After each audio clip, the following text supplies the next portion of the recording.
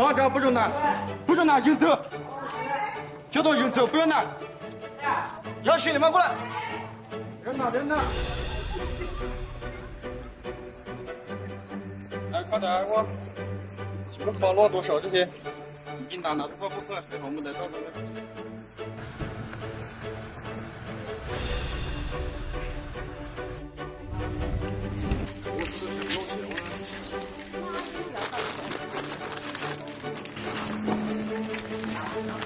个。你看那个不中枪呀？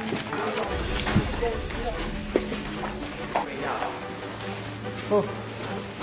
于是刚刚我们看见这个情况之后，我们来制止了，让交通不要拿东西，然后前面那些人就跑了。那么现在呢，是我们叫的这个我们七号的警卫的啊，来这个避障的群众啊，来叫他们来相帮，啊，来相帮把这些东西已经全部拿回去了，啊，已经放好给他们了。那么也就此啊，也就跟那些在的所有人跟你们讲一下。如果说自己没有得吃了，然或者说有人受伤了，然这个炮兵炸伤了，不怕你们可以找到我们同盟军的啊这个部队，让我们有这个随行的这个军医。那么大家受伤了，我们军医会帮大家包扎。如果说大家这个没有大米吃了，然不怕，也是可以找到我们组织跟我们讲，然后我们会安排这个人马上就来了。然你要说是呃别人吃的多好，我们不讲，那当时这个大米啊这个大米是有。相互看，因为为啥我们现在纳粹已经解放了，他接下来我们不打仗，你看我们还是要一起在这里生活呢。那么这些前前后后啊都是我们的邻居，然后人家开着铺子好，多事情我不能够动。然后我相信你们啊，这个今天也别来更难，我也相信说你们以后也不会这样难。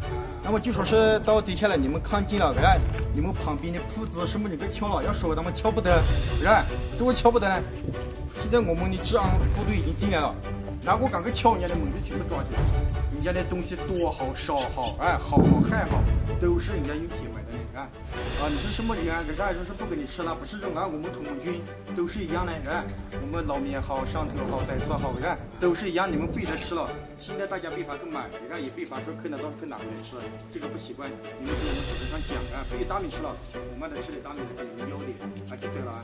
你看，但是拿是拿不得啊，你看都是一样，我们啊都不容易，每个都不容易啊。那个主人家，那我们来到的时候，当场制止了这个来糊弄人家门的这个老百姓，那么当场他们就跑完了。那么后面呢，我们这前后叫这些老百姓来先帮人家把这个东西全部抬进来。那么在抬的时候啊，也是一伙在路中嘛，也就拿着这个饮料给他们吃了一打。那么有我们工作组帮他们定下这呃这一打的这个饮钱，就给它放在你们家这个。因为确实也有一部分有一部分东西是损失了，因为我们来的时候，我们是路上看见有搬个东西出去，然后用摩托拉呢，有着一几张，那么我们就。迅速的来到我们家这个位置上来制止，啊，虽然说也制止了部分，当然这其中的话也踩踏了一部分，确实那个，呃，也是我们这个工作上没有能够说及时来制止的，呃，造成了这样这样一部分一个损失。